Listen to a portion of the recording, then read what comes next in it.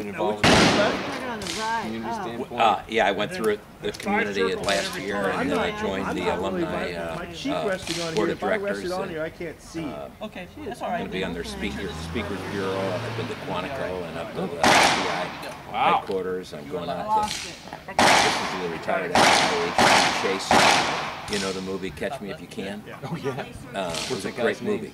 The, the, that, um, Watch your thumb.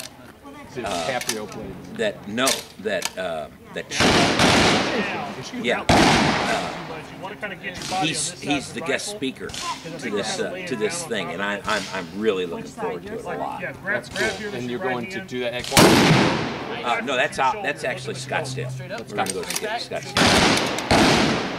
This is the killer. This is the one that does him. No. She's having You're a tough time. teabagger, Jamie. You can't kill me. Uh, I had a hard time with it too. I'm in a little grass. This is far away. Little grass. Okay, Oh, yeah. It's not a full picture. It's just Had to be done, man. barely- Had to be done. Okay, you're going to have to kind of move the rifle around though.